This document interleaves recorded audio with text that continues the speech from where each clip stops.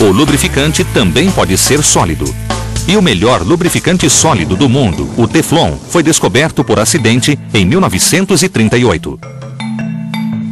Dr. Roy Plunkett was a chemist for DuPont, and he was investigating the manufacture of new refrigerants uh, for Freon refrigeration.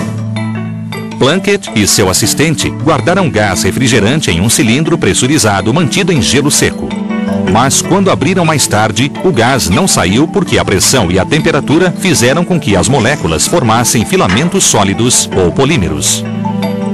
And when the cylinder was turned upside down, lo and behold, white powder came out, which was a surprise because uh, tetrafluoroethylene gas had been put into the cylinder and a fluoropolymer had come out of the cylinder.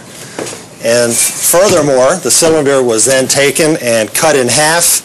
There was white powder all on the inside. And this indeed was the first sample of Teflon fluoropolymer. Plunkett descobriu que o Teflon resistia a produtos corrosivos e seu uso inicial foi em um projeto da construção da primeira bomba atômica.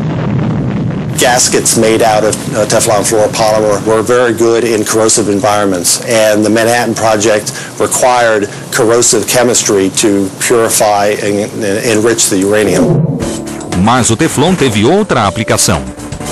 Por ser mais escorregadio que lubrificantes sólidos naturais como o grafite, ele logo se tornou sinônimo de produtos domésticos. O segredo dessa qualidade do Teflon é um átomo que vem do mineral fluorita.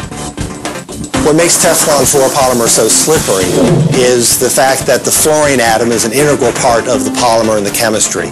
Uh, the outside surface is shielded by the fluorine atom, which is not reactive with most chemicals, and things do not want to stick and slide off the surface. Mas os desafios do lubrificante em casa não se comparam àqueles do espaço. O ambiente é hostil e ele mantém as máquinas em operação.